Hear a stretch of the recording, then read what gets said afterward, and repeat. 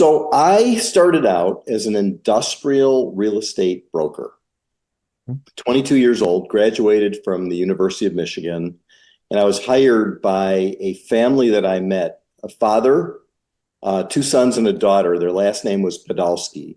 And they owned 84 industrial buildings and they had a brokerage company, industrial brokerage. So industrial brokerage is just like uh, being a residential broker, except instead of selling and leasing homes, they were selling and leasing industrial buildings, manufacturing facilities, big buildings like uh, 20,000 feet, 50,000 feet, uh, 300,000 square feet. And there was mm-hmm. a lot of leasing and a lot of selling.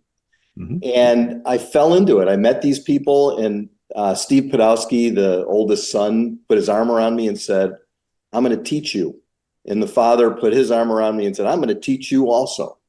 Nice. So, so I wasn't a member of the family, but I became a leasing agent for their properties and then a general broker representing outside third party sellers, landlords, tenants, and buyers. Mm-hmm. It was a great business. I was 22 years old in 1981. The, the market was horrible because there was a recession on interest rates were 17%.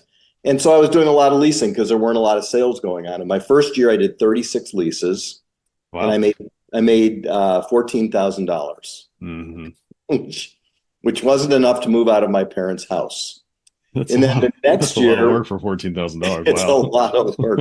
really small deals, like 2,000 and 3,000 square foot leases, yeah. with very small companies that were relocating. Some of them, by the way, have turned into giant multi-billion-dollar companies since then.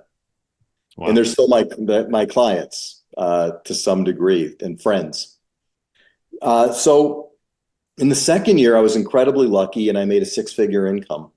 Wow.